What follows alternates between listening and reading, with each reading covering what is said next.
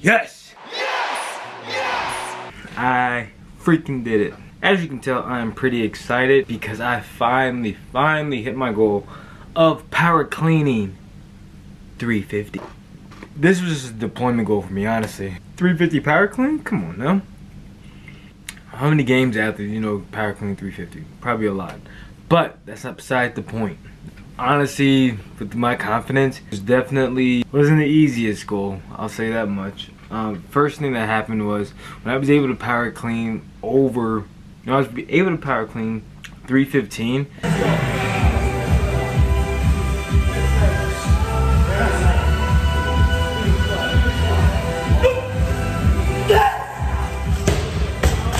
that was the first taste of my potential I felt of knowing what I can truly actually do. That's when I really felt like, oh snap, like I'm progressing to the point where I can lift more weight. Second was when I hit 335.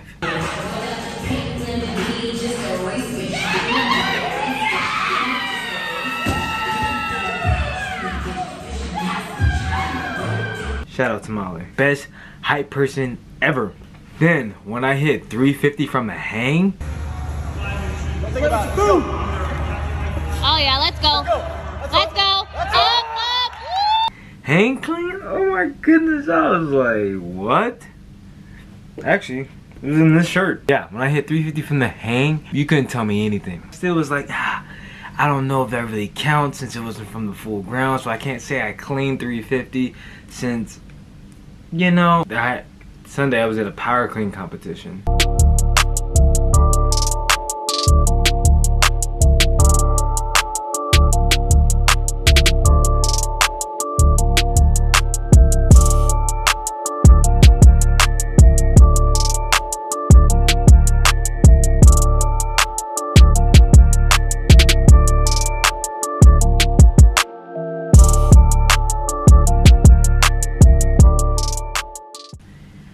With this power clean competition um, my I only had to lift like 340 which was what I already previously hit before. But I was like no I'm going for it. I'm going for it. I'm going for my deployment goal. This is it. This is the time. The time is now. There is no tomorrow. There is no tomorrow. And guess what I did? I lifted the weight that was on the barbell. Unfortunately, I can't do math, and it was 345.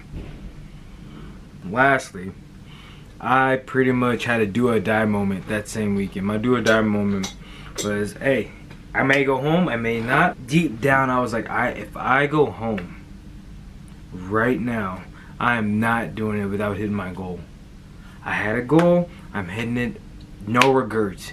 I'm doing it right here, right now. I woke up that morning and I did, what was it, 2017?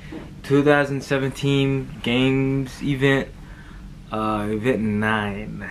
It was a clean ladder with bar muscle ups. One of my favorite movements with one of my other favorite movements. That's what the workout was. It's the event We're in the documentary when Mat Fraser, Mat Fraser's judge was kind of, I'm not running. Everybody else is not running. You're running.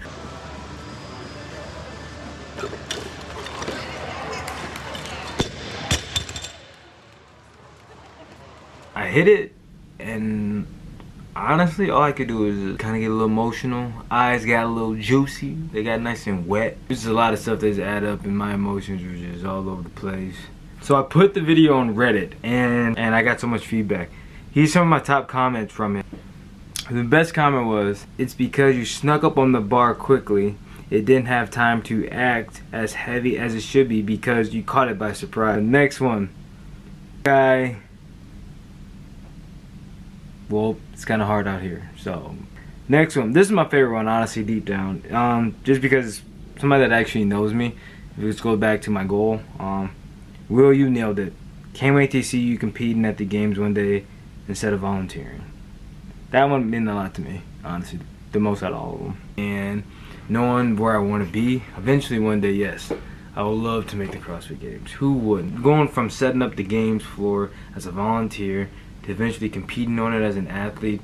Come on, man. It's been done before. That's and that's what's also really motivating.